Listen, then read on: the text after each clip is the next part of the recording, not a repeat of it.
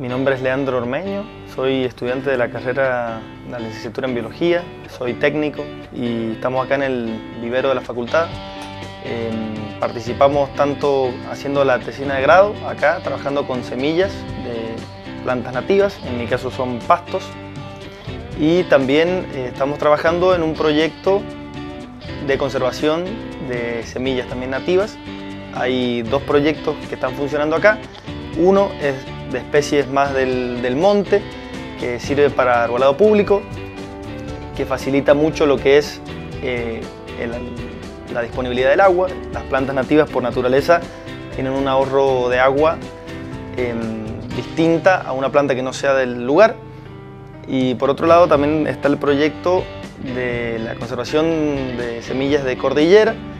La idea de esto es también, o sea, de ambas, ¿sí? es formar un banco de semillas que permita poder conservar los recursos genéticos de, las semillas tanto de la cordillera como acá del monte. ¿sí?